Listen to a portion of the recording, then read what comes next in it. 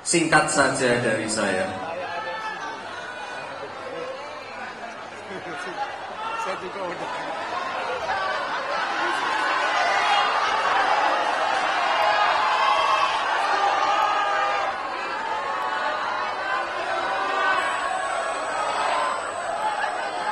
Sekarang ini banyak serangan-serangan, banyak fitnah. Tidak perlu dilawan, tidak perlu senyumin saja. Kalau Bapak Ibu lihat atau membaca rilis dari lembaga survei, kalau surveinya jelek, berarti kita harus kerja keras lagi. Ini pertarungannya waktunya pendek sekali. Tapi saya yakin dengan semangat Bapak Ibu semua, saya yakin kita bisa menang satu putaran.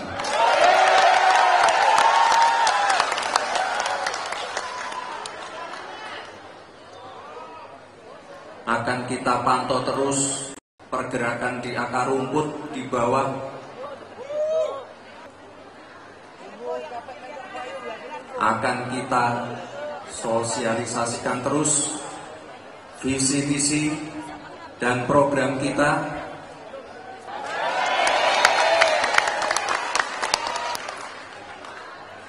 Tapi sekali lagi Bapak Ibu jangan lengah.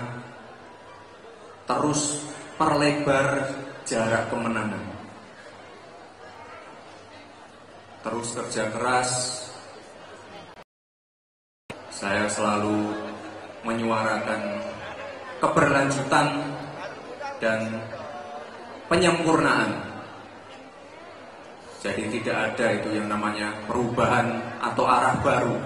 Yang ada melanjutkan dan menyempurnakan.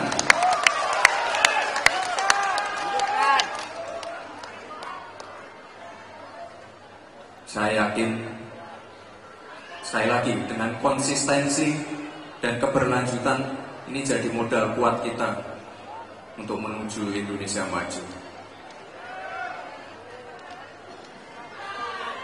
Bapak Ibu, sekali lagi, jika ada yang nyinyir, jika ada yang fitnah, jika ada yang berstatement negatif, diamkan saja, senyumin saja.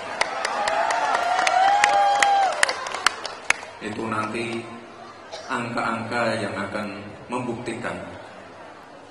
Kalau mereka nyinyir terus tidak berhenti fitnah itu artinya mereka panik. Mereka takut kalah.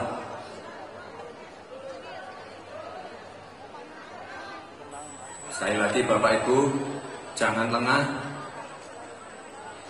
Ini jalan masih panjang sampai 14 Februari nanti.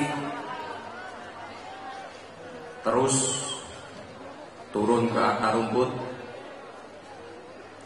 Terus lakukan konsolidasi dan jaga kekompakan di dalam koalisi Indonesia Maju ini.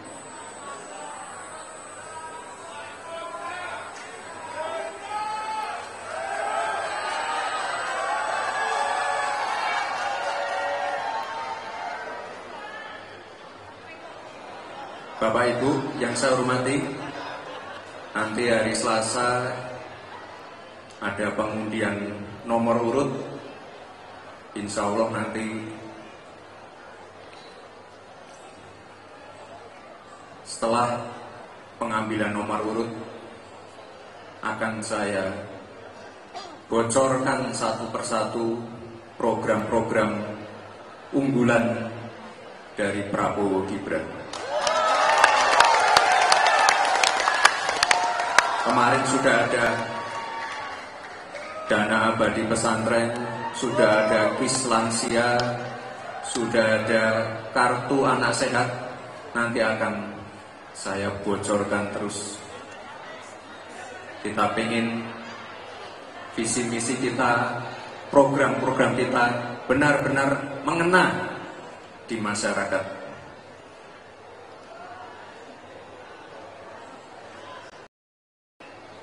Sekali lagi Bapak Ibu, terus jaga kekompakan.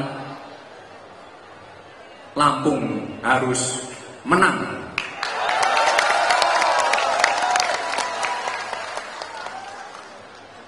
Ya, soalnya saya tadi ke pasar ketika tanya-tanya dagangnya bisa bahasa Jawa.